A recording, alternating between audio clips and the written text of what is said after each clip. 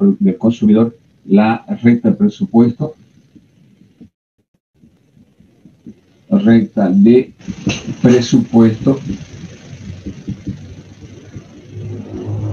y todos los elementos de la curva de indiferencia, como son las características, la pendiente se mantiene simplemente que acá se llama en la teoría de la producción a largo plazo isocuanta. De la misma forma, la recta de presupuesto que ya estudiamos en la teoría del consumidor, aquí lo vamos a llamar el isocosto, que viene a ser el costo en el cual incurre una empresa para poder producir una cantidad determinada de, de bienes o servicios. Luego el equilibrio. Si ustedes se acuerdan, el equilibrio era un lugar geométrico de punto de tangencia entre la curva de indiferencia y la recta de presupuesto y en la que se determinaba que la tasa marginal de sustitución eh, XY era igual a delta Y sobre delta X y esto era igual al producto a la utilidad marginal a la utilidad marginal de X sobre la utilidad marginal de Y. Y esto a su vez será igual a M estos elementos son la pendiente de la curva de indiferencia, explicado de, diferentes formas. Y la pendiente de la recta de presupuesto es M, porque es una recta y era igual al precio de X sobre el precio de Y. Nuevamente, eso vamos a utilizar porque el, enfoque, las herramientas analíticas son las mismas. Entonces, en el equilibrio, el equilibrio se va a dar cuando la isocuanta sea tangente al isocosto y en el precisamente esta igualdad. Y a partir de esta igualdad, a partir de esta igualdad precisamente es que se infiere una fórmula del punto de equilibrio que, lo hemos conocido el principio equimarginal. En este caso, utilidad marginal de X sobre el precio de X igual utilidad marginal de Y sobre el precio de Y. Para este caso que estamos estudiando ya no va a ser utilidad, sino va a ser más bien producto marginal del trabajo sobre el precio del trabajo igual al producto marginal del capital sobre el precio del capital. Fíjense, el análisis es el, el mismo, simplemente con otros nombres. Luego vamos a estudiar la maximización de la producción sujeto a un costo eso lo vamos a ver a nivel gráfico, la minimización de los costos sujeto a un nivel de producción y finalmente la, ruta de expansión y los rendimientos a escala. 1, 2, 3, 4, 5 puntos que vamos a analizar en la teoría de la producción. En consecuencia, vamos a empezar analizando la función de producción. Como han podido ver, la función de producción a largo plazo tiene dos variables, en este caso trabajo y capital, que se pueden modificar. El largo plazo es un periodo de tiempo en el cual las empresas pueden contratar más trabajo y pueden adquirir o, contar con mayor capital para sus procesos de producción. Por lo tanto, el nivel de producción que está representado por Q es una variable que depende tanto del trabajo como del capital o de los factores trabajo y capital variables. De tal forma que el nivel de producción va a estar en función de estas dos variables. Si estas dos variables aumentan, la cantidad producida también aumentará, dependiendo en este caso obviamente del tipo de rendimiento que se tenga a escala de la producción. Pero en todo caso, el empresario, si quiere producir un mayor nivel de producción Q, va, puede en este caso utilizar más trabajo y más capital. En este caso, Q para nosotros va a representar la cantidad producida. La cantidad producida por unidad de tiempo.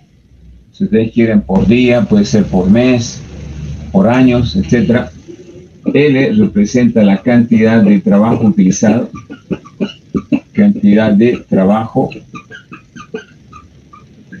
utilizado y K representa la cantidad de capital. aquí nuevamente es importante recordar que el término capital hace referencia no solamente al dinero, obviamente el dinero es uno de ellos, es, también parte de la infraestructura, es un término amplio, los equipos, eh, maquinarias, etcétera. Eso estamos entendiendo por, en este caso, capital, no solamente el dinero, sino también infraestructura, equipo, maquinaria, etc.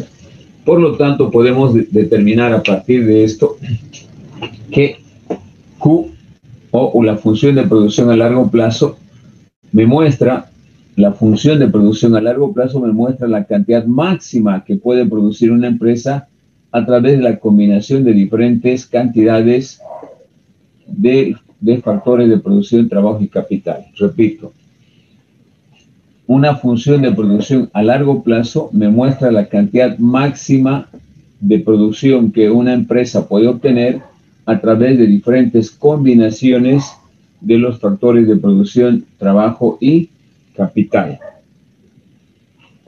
Si tendríamos que representar en un plano gráfico una función de producción a largo plazo, acá tenemos tres, tres variables. Cuando manejamos este gráfico de Q igual a un FLK con K constante, teníamos para analizar solamente dos variables, Q y L. Y por eso utilizamos en este caso un gráfico de esta manera, donde colocábamos aquí el capital y la producción total QPT aquí. De esta manera podíamos representar la producción total de esta forma porque habían solamente dos variables a analizar, la cantidad de trabajo y la producción. Pero en este caso hay tres variables, uno, dos y tres variables.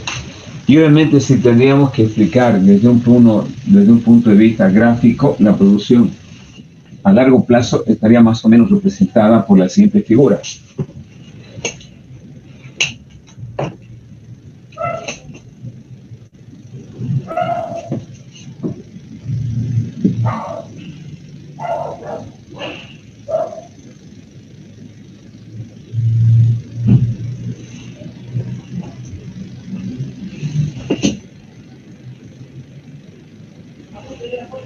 Eh, aquí representaríamos la producción, el trabajo y el capital. Entonces, si quisiéramos representar estas tres variables en un plano geométrico, teníamos más o menos una figura de este tipo.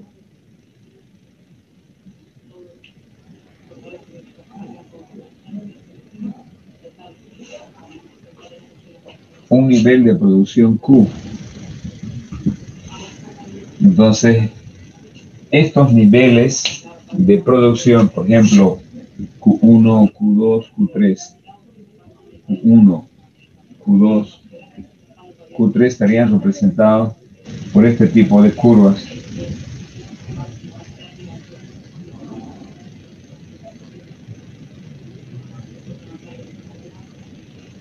Por esto lo voy a hacer más, más abajo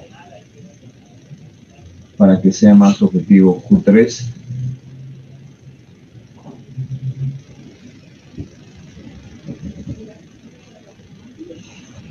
Estaríamos representado, estaríamos representando de esta forma las tres variables, capital, que es variable, trabajo y la función de producción. Obviamente su análisis no sería nada fácil, pero si nosotros vemos desde arriba esto, utilizando solamente las, estos dos ejes, estaríamos representando esta, e, e, esta figura en un plano cartesiano donde el eje de las ordenadas estaría representado por el capital y el eje de las abscisas por la cantidad de trabajo. Y con una forma de este, de este tipo. Estas figuras que están escritas con rojo vistas desde arriba tendrían más o menos esta forma. Entonces, la teoría de la producción poder simplificar el análisis, utiliza precisamente, dada que su análisis comprende tres variables, acá tengo las tres variables, trabajo, capital y la función de producción que estarían representadas por estas curvas. A estas curvas precisamente se le llama isocuantas.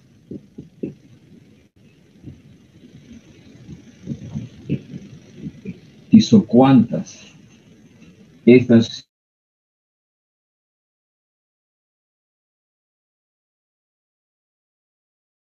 presentadas por estas curvas, que como se puede interpretar a partir de, la, de la forma en que tienen, representan diferentes combinaciones. Si ustedes quieren, identificamos dos puntos A, B y C. Las curvas, en este caso denominadas isocuantas, muestran diferentes combinaciones de capital y trabajo, diferentes combinaciones de capital y trabajo para obtener un mismo nivel de producción. Por ejemplo, eso podría ser 100 eh, unidades por día. Este podría ser 200 unidades por día. Para producir 100 unidades por día de un determinado bien, voy a determinar esta cantidad de capital esta cantidad de trabajo. O el mismo nivel de producción también podría obtener a través de otra combinación de K2 y L2. Por lo tanto, un isocuanta me está mostrando diferentes combinaciones de factor capital trabajo que una empresa puede utilizar para producir un mismo nivel de producción. Bien, entonces esa es una isocuanta. Ahora bien, al ser una herramienta importante de análisis, la isocuanta tienen características similares a las curvas de indiferencia. Primer elemento importante, las curvas de indiferencia tienen pendiente negativa. ¿sí? Eh,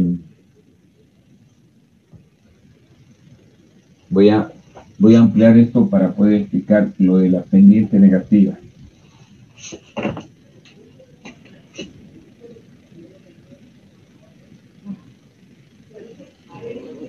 Es una curva de indiferencia Q1 que representa un nivel de 100 unidades por día. Las curvas de indiferencia tienen pendiente negativa en el entendido de que si yo quisiera producir, por ejemplo, en el punto B, tendría que utilizar la misma cantidad de trabajo, de capital, pero una mayor cantidad de, de trabajo. Si, yo quiero producir en este punto D, el punto D representa desde el punto de vista conceptual una, una combinación diferente de capital y trabajo. K2 y L3. Sin embargo, me permite alcanzar un nivel de producción igual a 100 unidades A, B o D. Sin embargo, por la forma de la pendiente positiva en este segmento, en el punto D, que para, para poder alcanzar un nivel de producción, yo no, no utilizo, en este caso, eh, la misma cantidad de, de trabajo, sino más bien para producir un mayor nivel voy a tener que obtener el mismo capital, pero un mayor, una mayor combinación o cantidad de trabajo. Eso obviamente hace de que el proceso de producción de sea ineficiente de tal manera de que las curvas de indiferencia como características siempre van a tener una pendiente negativa. Y este, a partir de este segmento, si nosotros trazamos una línea tangente,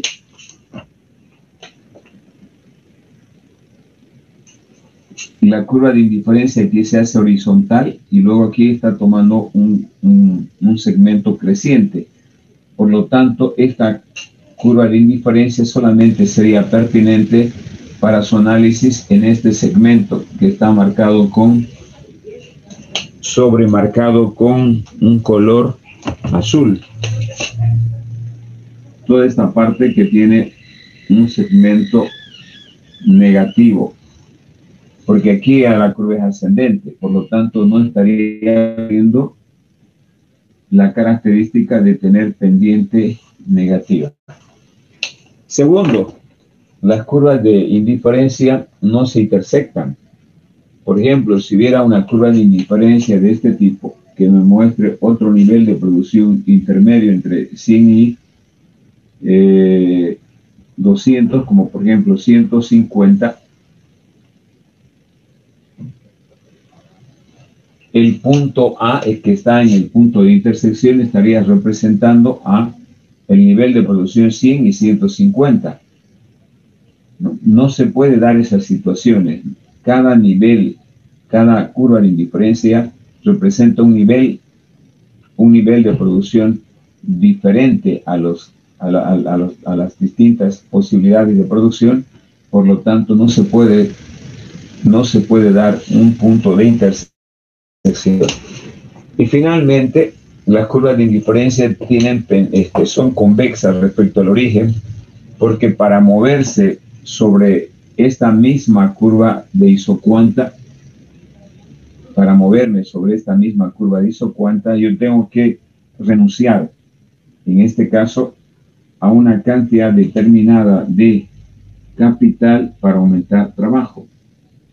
Es decir, no puedo moverme sin dejar de disminuir algún bien para aumentar el otro bien. Entonces, son convexas precisamente por esto, porque para moverme de A a B, yo tengo que renunciar a una cantidad de capital para aumentar el otro bien, en este caso, que es trabajo. Bueno, esta vendría a ser una tasa de combinación del factor capital y trabajo. Por eso se llama tasa marginal de sustitución, la tasa de intercambio, la proporcionalidad. Y obviamente si nosotros manejamos una curva de indiferencia individual, como por ejemplo esta,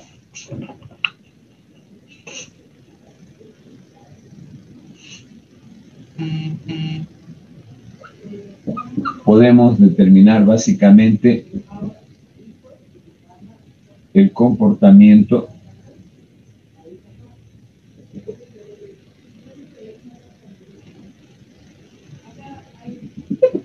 para ver cómo disminuye precisamente esta relación de intercambio a través de estos gráficos. ABC. Esta tasa de intercambio va a ir disminuyendo progresivamente. Por eso la tasa marginal de sustitución es negativa. Bien, a, la, a, este, a, este, a esta elección que tiene, que tiene posibilidades de, a, esta, a estas combinaciones que puede elegir un productor de K1 y L1, K2, L2, K3, L3 se le llama relación marginal de sustitución técnica o simplemente tasa de K por L o tasa marginal de sustitución técnica de K por L. Es lo mismo relación marginal de sustitución o tasa marginal de sustitución. Cualquiera de estos dos nombres se puede utilizar para determinar la pendiente de la isocuanta. Bien. Otro aspecto importante cuando hablamos de la pendiente de la isocuanta son las representaciones algebraicas. La tasa marginal de sustitución eh, o la relación marginal de sustitución técnica, en este caso aumentamos de lo que llamábamos antes, tasa marginal de sustitución en la teoría de la utilidad. Aquí aumentamos una T porque se refiere a un proceso de producción técnico. Por eso se le aumenta la variable T, tasa marginal de sustitución técnica. Me está mostrando, como vimos hace rato, la pendiente de la curva de la, curva de la isocuanta, que en términos de acuerdo a las variables sería el cambio en la variable capital como consecuencia del, del cambio en la variable trabajo. Dicho de otra manera, la tasa marginal de sustitución técnica KL me está mostrando la cantidad de capital que una empresa está dispuesta a renunciar para aumentar una unidad del factor variable del factor trabajo. O dicho de otra manera, también puede utilizar si tuviera funciones a través de la derivada de K respecto a la variable trabajo. Y finalmente también podría utilizar esta relación, el producto marginal del trabajo sobre el producto marginal del capital. Esto se podría explicar de la siguiente manera. Este es el cambio de K y este es el cambio de L. Voy a suponer que yo tengo un punto acá, ABC, el punto D, el punto D. Entonces, sabemos también de que el producto marginal del trabajo, si ustedes se acuerdan lo que ya vimos en la anterior, el consumidor me está mostrando el aporte de cada trabajador extra que contrata la empresa a la producción, en este caso. Y si yo analizo el producto marginal del capital, estaríamos definiendo como el aporte de cada unidad adicional de capital a la producción total. Entonces, si yo renuncio a esta cantidad de capital, estaría renunciando a un al producto marginal de L, de K, perdón, estaría eh, renunciando a la productividad marginal de K por la cantidad de de eh, capital que debe ser igual en este caso a la productividad marginal del, capital multiplicado por el cambio. Es decir, en este caso va a ser igual a la productividad marginal del trabajo multiplicado por el cambio en la cantidad de trabajo. Me explico nuevamente. Cuando el, el productor se mueve en su isocuanta de A a B, está perdiendo, está renunciando a esta cantidad de capital para aumentar esta unidad de, este, esta cantidad de trabajo. Entonces lo que en última instancia está haciendo es no disminuir la productividad marginal del trabajo, perdón, la productividad marginal del capital multiplicado por la cantidad de capital que está disminuyendo. Y que eso obviamente debe ser igual para mantenerse en esta misma isocuanta debe ser igual a la, a la productividad marginal del capital por el aumento del capital que va, que va a obtener para mantenerse siempre sobre la misma isocuanta. De aquí, de esta relación, podemos sacar de que el producto marginal, eh, el delta K, el delta K se va a mantener acá, voy a traer este delta dividido entre delta L y va a ser igual a el producto marginal del trabajo sobre el producto marginal del capital. Estoy haciendo esta demostración porque eh, la pendiente de la isocuanta que se llama tasa marginal de sustitución técnica KL es igual a delta K sobre delta L y esto a su vez es igual al producto marginal de L sobre el producto marginal de K y viene precisamente de acá. Si ustedes se fijan acá, estoy dejando esto aquí y esto que está multiplicando va a pasar a dividir acá y esto que está multiplicando pasa a dividir aquí. Entonces estoy haciendo esta demostración precisamente de acá. No, es, no son fórmulas que este, de alguna manera este, se aplican mnemotécnicamente, sino tiene una deducción lógica de este comportamiento del consumidor cuando se mueve del punto A al punto B, está perdiendo esta cantidad de capital para aumentar esta cantidad de trabajo. Por lo tanto, este, la productividad del capital multiplicado por este cambio debe ser igual a la productividad marginal del trabajo multiplicado por este cambio en el trabajo. Muy bien, finalmente, no sé si una pregunta está aquí.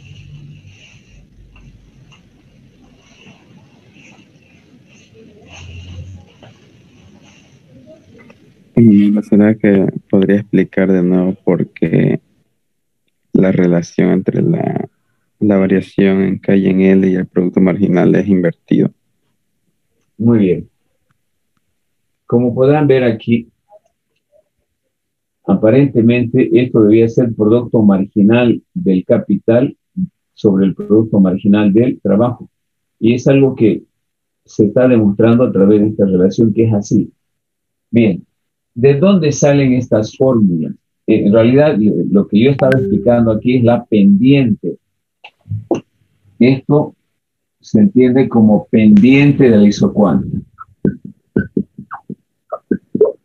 Pendiente de la isocuanta. Ya saben que es una, una isocuanta. Una isocuanta me está mostrando diferentes posibilidades de combinación de factores de producción para obtener un nivel de producción determinado. Un nivel de producción determinado Q. Yo puedo alcanzar este nivel de producción Q combinando eh, K1 y L1 en A o K2 y L2 en B, o finalmente K3 y L3 en C, cualquiera de estas combinaciones de ayer. En el estudio de la isocuanta es importante definir el concepto de pendiente. ¿Por qué?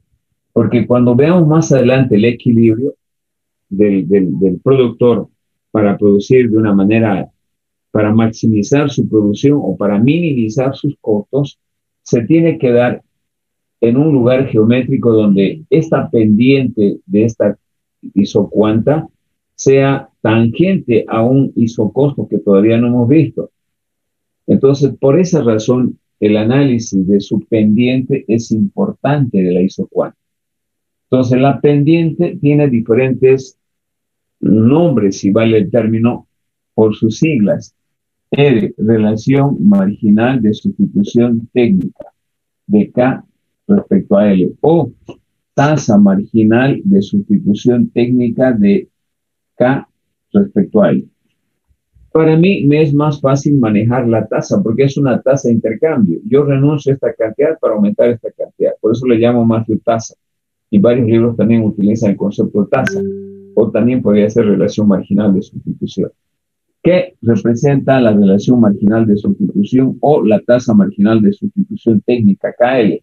Me representa la pendiente. ¿Y cómo determino la pendiente? Entre los, ustedes saben bien de que si yo quiero obtener la pendiente, si quiero obtener la pendiente en un punto, trazo una tangente, una línea y saco en este caso los cambios de K y L. Pero estoy queriendo determinar la pendiente entre A y B. Entonces necesariamente tengo que formar un triángulo rectángulo donde muestre el cambio de, del capital y el cambio del trabajo. Entonces, desde el punto de vista geométrico, cuando un productor se mueve para alcanzar este mismo nivel de producción utilizando, quiero utilizar diferentes combinaciones de capital y trabajo para producir esta misma cantidad Q.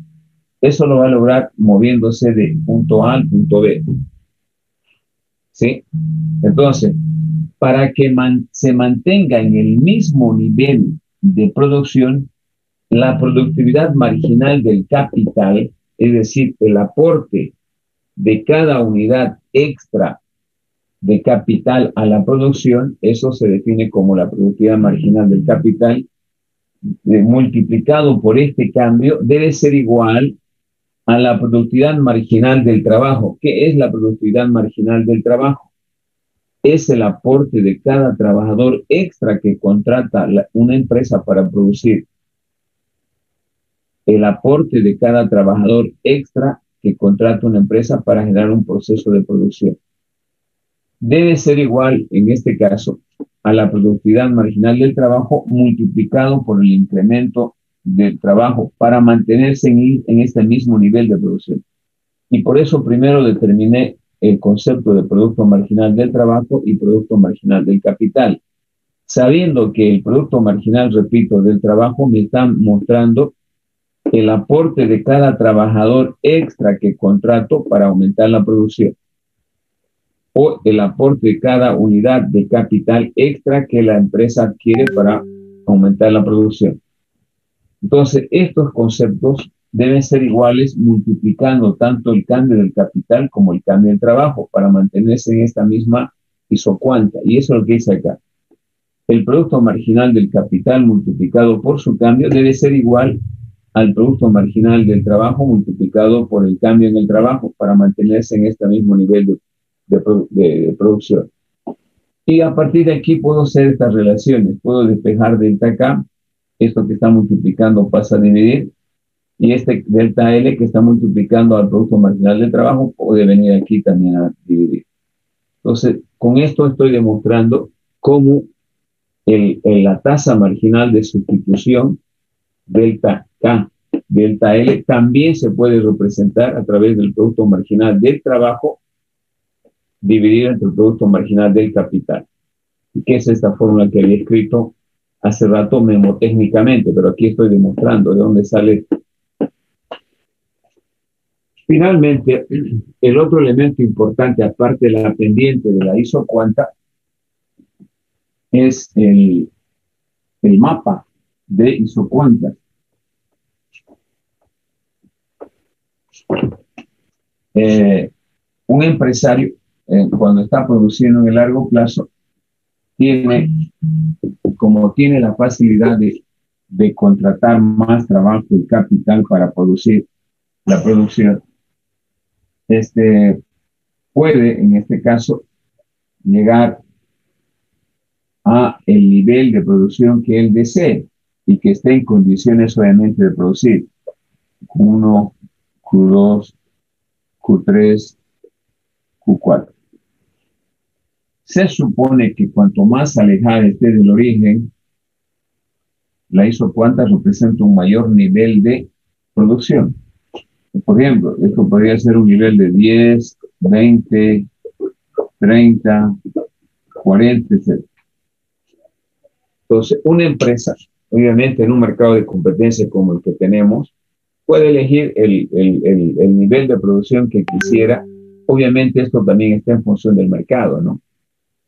El mercado quien le va a comprar y que es un, el mercado es una variable externa. El mercado está fuera de la empresa. Pero aquí está, es una variable externa. El mercado. ¿Cuánto va a producir una empresa? Obviamente va a depender del mercado, pero aparte del mercado, él va, como empresario, va a querer maximizar, acuérdense, que el, empresario trata de maximizar el beneficio siempre en un proceso de producción. Y el beneficio es la diferencia entre el ingreso total menos el costo total. Entonces, el primer elemento es de que yo debo producir la, la, mayor cantidad posible que me permita mi planta. Pero fíjense ustedes que en la producción a largo plazo si la, el mercado, yo estoy produciendo 10 y el mercado me dice produzca 20, puedo modificar, contratar más trabajo y capital, producir 20. Si me dice 30, también puedo hacer. O sea, no hay problema aquí como la teoría de la producción a corto plazo, que me, me, me impedía el capital que era fijo. Por eso la producción no era exponencial, tenía un límite, llegaba un máximo y luego disminuía. En cambio aquí no. En la producción a largo plazo, tomando en cuenta que las variables, que los factores de producción, trabajo y capital son variables, usted puede modificar, puede alcanzar el nivel de producción que quiera. Se supone que desde ese punto de vista el empresario siempre va a alcanzar, va a tratar de alcanzar el nivel de producción máximo posible en función de sus costos o su presupuesto que tenga. Porque esa también es su restricción, ojo, que no solamente es libre de producir cualquier cantidad, aunque el mercado le pida. También tiene una restricción, y que es su costo, su presupuesto, que, es el, que lo hemos llamado en la teoría del consumidor, que no hemos analizado todavía. Sin embargo, lo que yo quiero resaltar aquí en este gráfico es de que un mapa de curvas de isocuanta representa un conjunto de posibilidades de producción que puede elegir un productor en el largo plazo. ¿Está claro?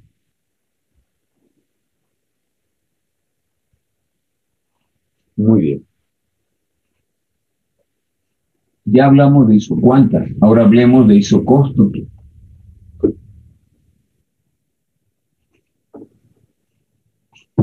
El otro, son cinco elementos que tenemos que analizar acá. El isocosto. ¿Qué es un isocosto? Es, hemos dicho que es el equivalente a la recta de presupuesto. ¿Y qué era la recta de presupuesto? Si ustedes se acuerdan, la recta de presupuesto era la, la cantidad de bienes y servicios que un consumidor podía adquirir dado su ingreso y el precio de los factores, del precio de los bienes. En este caso, el isocosto cumple esa misma función. Y los, el isocosto me muestra la cantidad de trabajo y capital que una empresa puede utilizar, dado su presupuesto, dado su desembolso total, o dicho de otra manera, es el costo en el cual va a incurrir una empresa para producir una cantidad determinada de un bien o servicio, dado el precio de los factores de producción. El isocosto, que se puede llamar también desembolso total, presupuesto o simplemente costo total, es igual al precio del trabajo por la cantidad de trabajo más el precio del capital por la cantidad de capital. Cualquier nombre puede tener.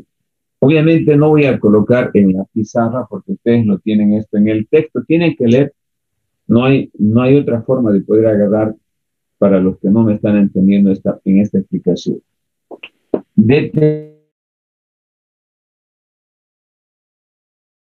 También presupuesto, también puede llamarse costo total, y es igual al precio del trabajo por la cantidad de trabajo más el precio del capital por la cantidad de capital. Y si nosotros llevamos a un plano geométrico, el isocosto es igual o idéntico, en este caso, a la recta presupuesto, como decíamos, y está representado por una, una línea recta de este tipo. El isocosto, que representa el costo en el cual va a incurrir una empresa al producir una cantidad determinada de producción. Por eso también se llama costo total, porque es el costo que va a incurrir una empresa para producir un nivel determinado de producción. Y obviamente si nosotros multiplicamos el precio del trabajo por la cantidad de trabajo, el precio del capital por la cantidad de capital que va a utilizar una empresa, es costo. Por eso también se llama costo, o puede ser presupuesto o desembolso total. Si representamos este, gráficamente gráficamente va a ser una línea recta de este tipo, donde los puntos de intersección con los ejes del capital y trabajo se pueden obtener directamente dividiendo el, el costo total entre el precio del capital. Costo total dividido entre el precio del trabajo. Bien. Eh, es importante analizar de que el, productor, cuando eh, tenga un desembolso total, presupuesto, un costo total, se va a ubicar por definición sobre cualquier punto situado sobre su, su línea de isocosto. Si bien es alcanzable ubicarse en D o en el punto E, que podrían ser como opciones, por ejemplo, un consumidor, un productor racional va a adquirir las combinaciones de trabajo y capital ubicadas sobre la línea de su isocosto A, B, C. Puede operar en el punto D, puede, pero su costo, eh, su costo total, en este caso, no sería su gasto total. No se estaría cumpliendo esa igualdad. Por lo tanto, un productor racional se va a ubicar siempre sobre la línea de su, de su isocosto, porque en este caso, si se ubicara debajo, no estaría este, igualando su costo total. O en este caso, si quisiera alcanzar el punto E, no, no le permitiría este costo, sería un costo mucho mayor para poder operar. No es más o menos como si yo tuviera estas líneas paralelas acá puede llegar al punto D, puede, pero no sería una decisión racional, porque esto tiene que ubicarse sobre la línea del isocosto de tal manera que nivele el costo que va, va a contar, porque en el cual va a incurrir debe igualar al producto del precio del trabajo por la cantidad de trabajo que utilice y al más el precio del capital por la cantidad de capital. En consecuencia, esta, esta es una combinación alcanzable, esta es una combinación no alcanzable. Eso también lo hemos visto en la teoría del consumidor. Finalmente, el otro elemento importante en el isocosto viene a ser la pendiente. Y su pendiente en este caso va a ser menos el precio del trabajo por la cantidad del precio del capital. ¿Y de dónde se deduce esto? simplemente de acá, si nosotros despejamos, despejamos de acá, despejamos de esta función eh, respecto a acá, equivalente a la variable y, va a ser igual a el costo total menos esto va al otro lado, el precio del trabajo por la cantidad de trabajo. Como el precio del capital está multiplicando acá, aquí va a ir a dividir precio del capital dividido precio del capital. Por lo tanto, estamos demostrando evidentemente que su pendiente es la relación de precio.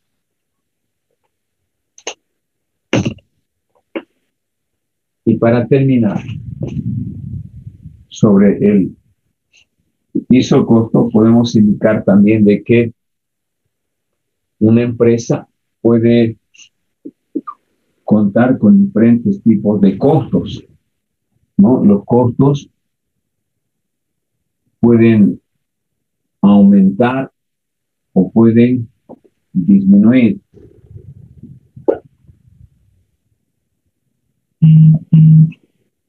Acá estamos hablando de que el, el costo también, cuanto más alejado esté del origen, representa un mayor costo costo total 1. Estamos en una escalata. Total 3. Cuanto más alejado esté del origen el, el ISO costo, representa un mayor costo de la empresa. Es decir, una, además, que una empresa puede disminuir sus costos o puede aumentar sus costos. Cuando estamos disminuyendo aumentando los costos, la curva se va a desplazar, la recta, perdón, se disminuye hacia abajo y se aumenta hacia arriba.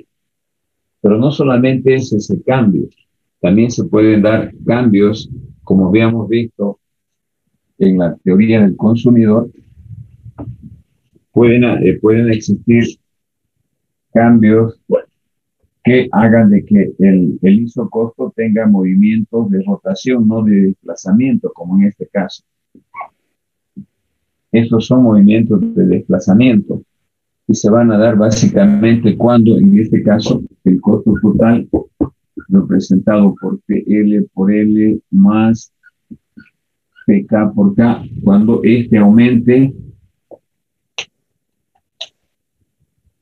o disminuya, manteniéndose constante el precio de los factores de producción. O también se puede dar este primer caso, que lo voy a hacer con línea eh, negra. Vamos a partir del costo total, precio del trabajo por la cantidad de trabajo, precio del capital por la cantidad de capital.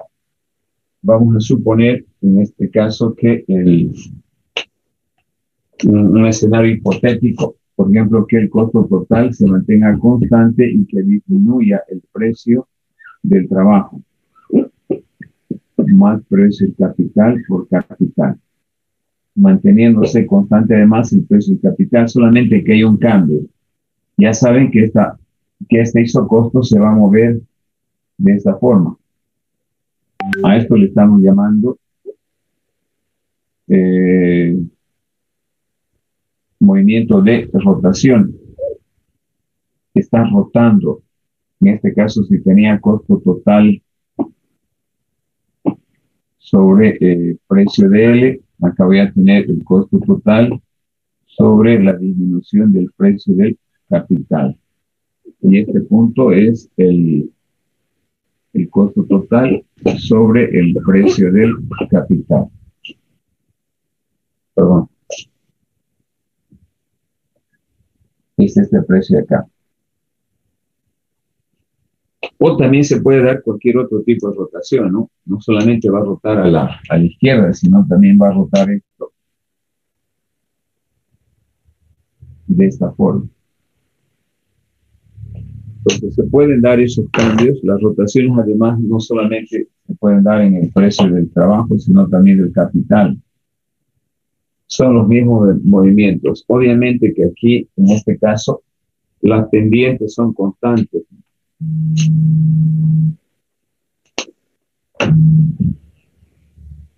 O la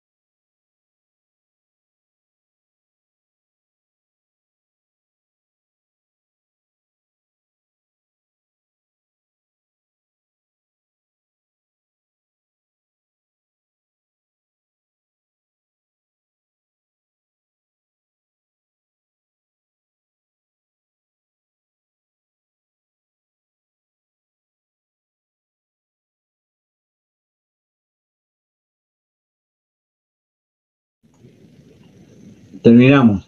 En estos casos, como ya saben, la pendiente es constante y, en estos casos va a cambiar.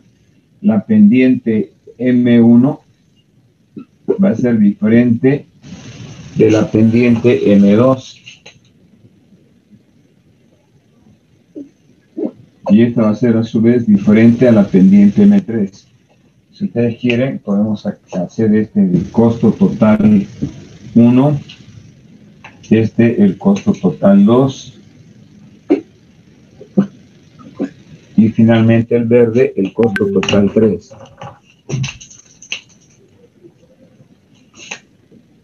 costo total 3 por esa razón las tres pendientes son diferentes. Bien alguna pregunta chicos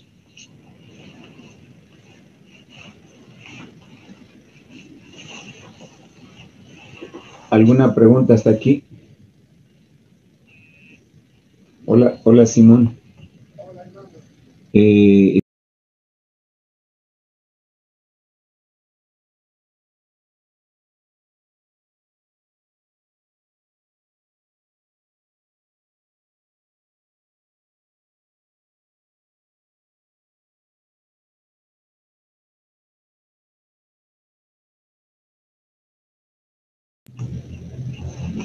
Muy bien, este, no sé si hay alguna pregunta hasta aquí.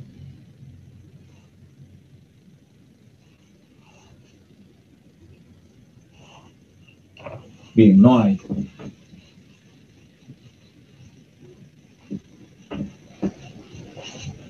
Espera un minutito, voy a, voy a cerrar el ingreso.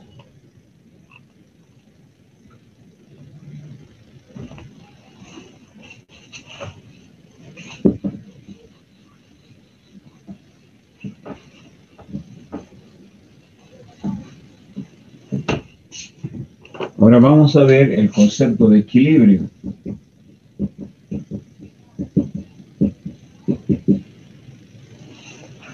Se dice que una, una, empresa en el largo plazo está en equilibrio cuando el, con el presupuesto que cuenta o con el costo en el cual quiere incurrir, alcanza la curva de isocuanta más alta posible.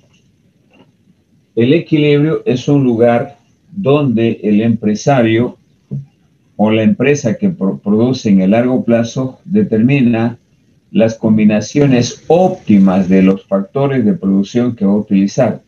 Y ese es precisamente el objetivo de, eh, del estudio, en este caso la teoría de la producción, tanto en el corto como en el largo plazo. En el corto plazo hemos determinado las cantidades mínimas y máximas de trabajo que debe utilizar una empresa para maximizar la producción y por ende su beneficio. De la misma manera aquí, ¿no? un empresario racional que busca maximizar su beneficio debe tratar de alcanzar el equilibrio. Y se entiende por equilibrio, repito, aquel lugar geométrico donde el empresario con el costo en el que, quiere incurrir para producir una cantidad determinada alcanza precisamente esa producción. O dicho de otra manera, con, un presupuesto determinado trata de maximizar la producción, alcanzar la curva de, de isocuanta más alta posible. Geométricamente, chicos, el equilibrio se representa como aquel punto de tangencia entre el isocosto, que es su costo total o su presupuesto, y una curva de indiferencia, eh, una, una isocuanta lo más alta posible. Para ello vamos a utilizar nuevamente el gráfico para hacerlo más claro. Hemos dicho que una empresa puede, eh, o más bien tiene diferentes posibilidades de producción puede producir una cantidad 1, una cantidad 2, una cantidad 3 y finalmente una 4. Combinando trabajo y capital. Sabemos de que cuanto más alejada esté la isocuanta del origen en un mapa de isocuantas representa un mayor nivel de producción. Sin embargo, como toda empresa, eh, en un mercado de competencia tiene ciertas restricciones. En este caso estamos representando la isocuanta por Q como una función KL o LK. Esto representa la isocuanta. Pero también hemos dicho que el empresario cuenta con un presupuesto con un costo total que está representado por esta línea recta PK por K. Entonces, un consumidor, o perdón, un productor está en equilibrio cuando dada sus diferentes posibilidades que tiene de producir, este alcanza con este isocosto la isocuanta más alta posible. Vamos a suponer que logra alcanzar esta isocuanta Q2 en este punto de tangencia. Ya saben por qué se debe ubicar el, sobre, eh, el, productor sobre su línea de isocostos es precisamente por esto. Va a alcanzar eh, el punto de equilibrio en el punto A. En ese momento, lo que se hace es determinar precisamente la cantidad óptima de capital y la cantidad óptima de trabajo que deberá utilizar una empresa para maximizar su producción y minimizar sus costos. El punto de tangencia entre el isocosto y una isocuanta en un mapa de isocuantas representa el equilibrio del productor en el largo plazo. Ese punto de equilibrio me está determinando las combinaciones óptimas de capital y trabajo que deberá utilizar para producir este nivel de producción que puede representar, que representa, que está representado por Q2. Si ustedes quieren, podemos hacer una, una simulación hipotética que esto representa 50, esto representa 100, 150 y 200. Entonces, podríamos decir de que un empresario con este costo que, que tiene, no va a alcanzar la isocuanta Q2 que es equivalente a 100 podemos hipotéticamente decir 100 panes por, por hora, 100 camisas por día, que 100 computadoras por hora, etc. Entonces, para producir esta cantidad de Q igual a 100, la combinación óptima de factores debe ser K estrella y L estrella. Y precisamente en este punto A se da la igualdad de las pendientes, pues, ¿no? La tasa marginal de sustitución técnica KL es que es igual a delta K sobre delta L y a su vez que también es igual al producto marginal del trabajo sobre el producto marginal del capital, como ya demostramos anteriormente, debe ser igual a M, y saben también que ISM es igual al precio del trabajo sobre el precio del capital.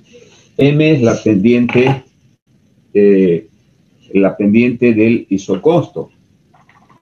De tal forma de que a partir de estos chicos, yo puedo determinar que el producto marginal del trabajo sobre el producto marginal del capital es igual al precio del trabajo sobre el precio del capital.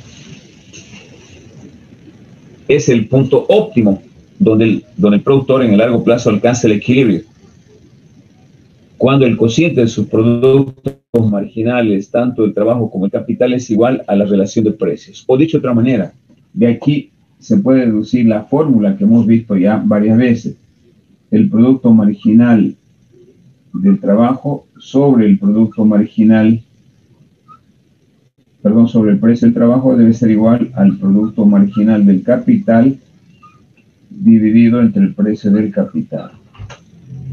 A esto le hemos llamado el principio equimarginal. Principio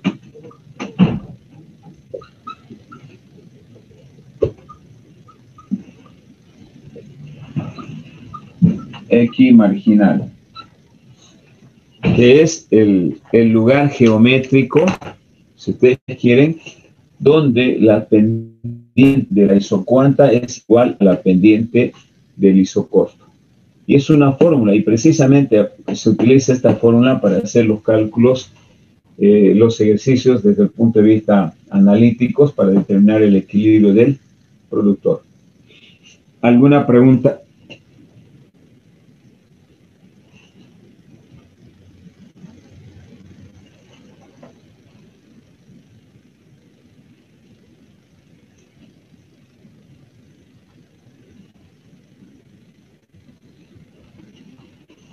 Sigamos, no hay pregunta.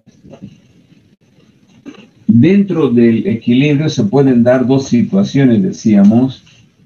Eh,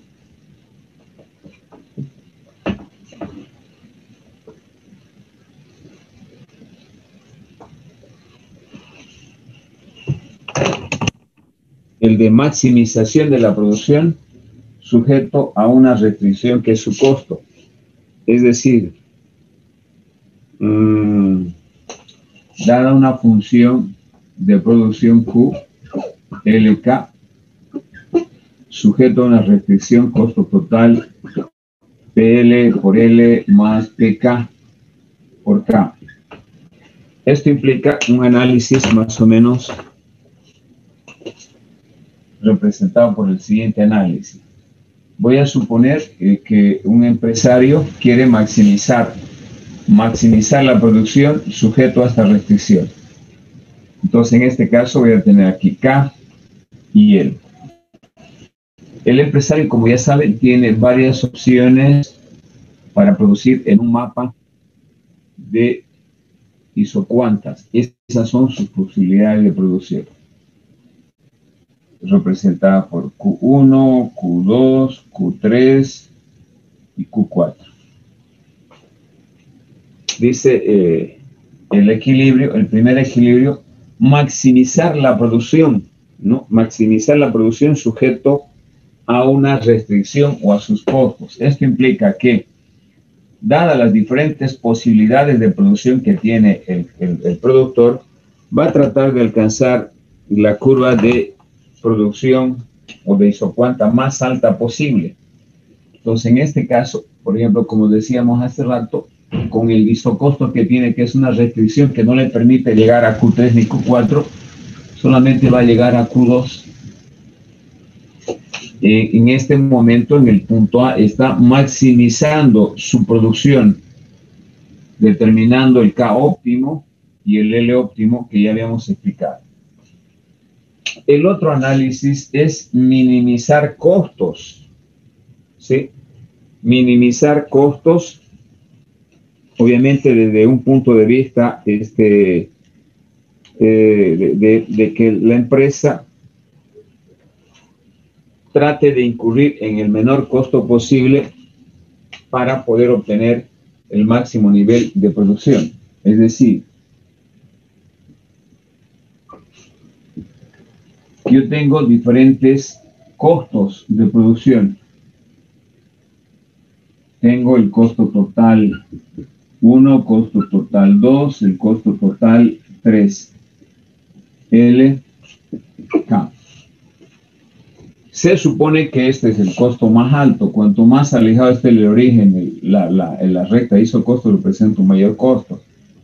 Frente a esas opciones que tiene el empresario o un productor racional va a tratar de minimizar sus costos eligiendo un nivel de producción determinado.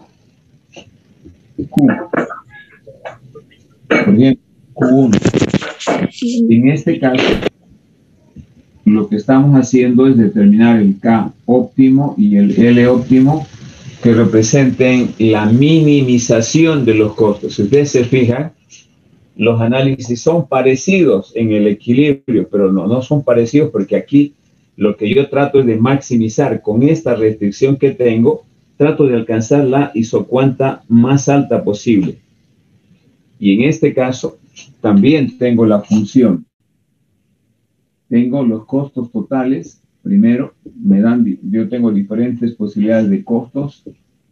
PL por L más PK por K. Y voy a tratar de minimizar mis costos. Precisamente voy a elegir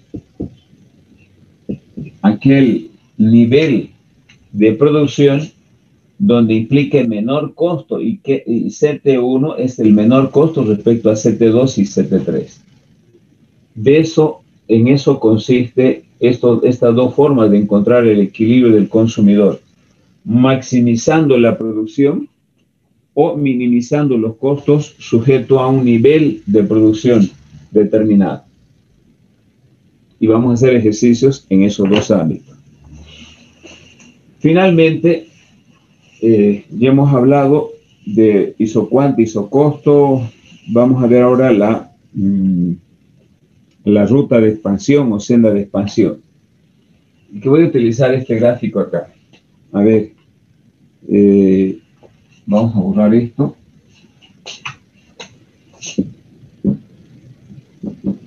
Ruta o senda de expansión. Senda de expansión. Bien, ¿a qué se le llama ruta o, o senda de expansión? Se le llama ruta o senda de expansión aquel lugar geométrico que me muestra diferentes puntos de equilibrio que representan niveles óptimos de producción en el largo plazo. Por ejemplo, yo tengo aquí el punto A, puedo tener el punto B, el punto, el punto C, etc. Entonces, la, la senda de expansión es la unión precisamente de estos puntos de equilibrio. A esto se llama senda de expansión que me está mostrando los diferentes puntos de equilibrio que se pueden dar ¿no? Eh, y que representan los niveles de producción óptimo que puede incurrir un, una empresa o un productor en el largo plazo. La ruta de expansión está uniendo los diferentes puntos de equilibrio. Y si nosotros analizamos esta, esta senda de expansión, tiene una ruta de expansión homogénea. Entonces, estos cambios, de estos me refiero. Estos cambios son proporcionales. Si nosotros vemos eh, estos cambios de entre B y A, entre A y, A, A y C son proporcionales. Eso me permite determinar, ¿y es hora? Eso me permite determinar los rendimientos de producción a escala a largo plazo. Por ejemplo, si nosotros quisiéramos representar un nivel de producción a escala, con rendimientos a escala crecientes, constantes o decrecientes, podríamos representar, por ejemplo, un gráfico que me muestre este nivel, 1, 2.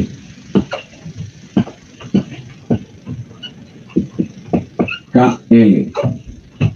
Vamos a tener acá, eh, por ejemplo,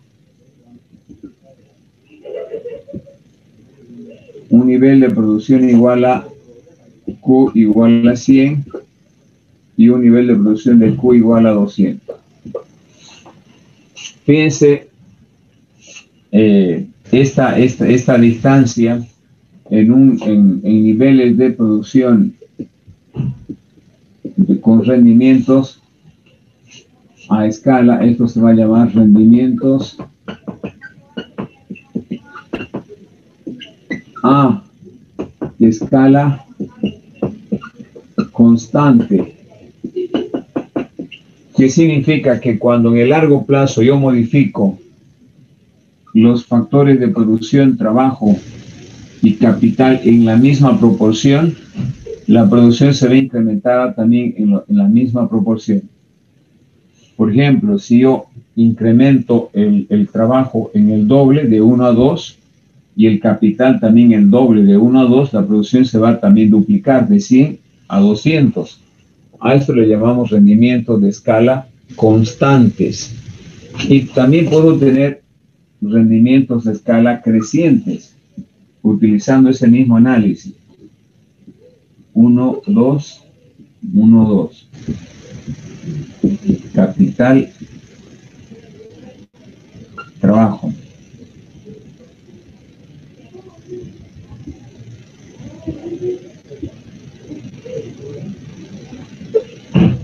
Eh, esto para, me va a representar hipotéticamente Q igual a 100 y esto me va a representar a Q igual a 300. Y vamos a meter acá una Q. Q igual a, a 200.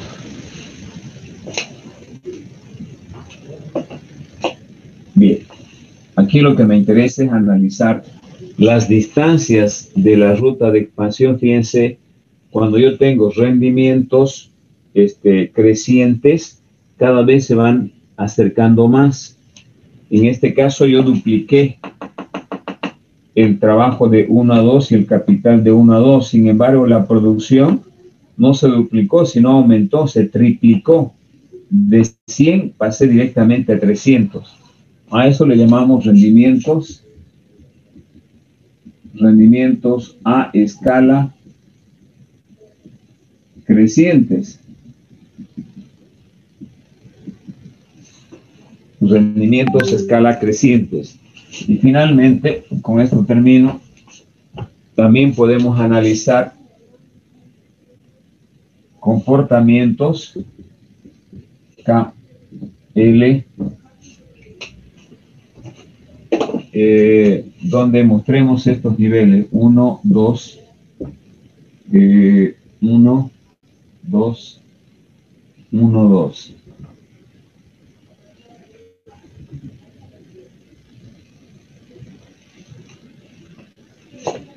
Un nivel de producción Q igual a, a 100. Estamos duplicando. Sin embargo, esta producción solamente va a ser igual a 150. Esta Q va a ser igual a 150.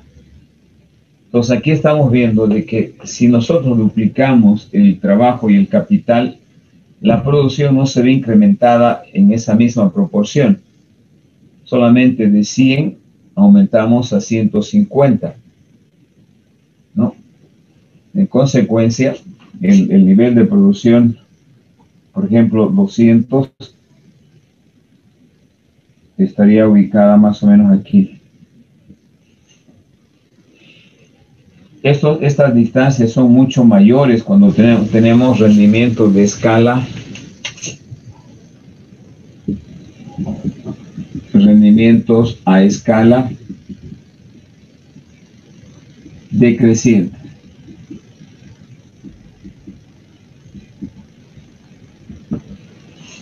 Bien, entonces esos son algunos de los tres ejemplos gráficos este, de los diferentes tipos de rendimiento a partir del concepto de ruta o senda de expansión, que en este caso me está mostrando rendimientos de escala crecientes, rendimiento, perdón, constantes, crecientes y decrecientes, y que tiene su explicación. Por ejemplo, para que me entiendan mejor, si el trabajo y el capital se incrementa en 10%, y la producción se ve incrementada en, en, en, en 20%, tengo rendimientos crecientes. Repito, si el trabajo y el capital aumento en 5% o en, en 10% y la producción aumenta en un 20%, tengo rendimientos crecientes. Si, la si el trabajo y el, y el capital aumento en 10% y la producción se ve incrementada en la misma proporción, rendimientos constantes si el trabajo y el capital se aumenta en 10% y la producción se va a incrementar en una proporción menor, tengo rendimientos decrecientes. Si no me han entendido, está en los apuntes para que puedan leer con más calma. Preguntas, chicos.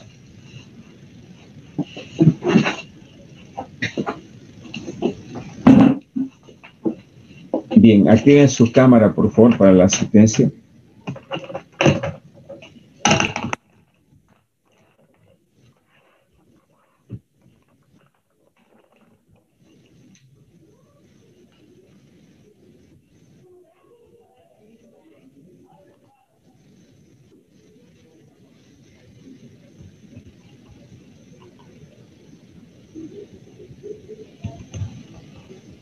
Muy bien.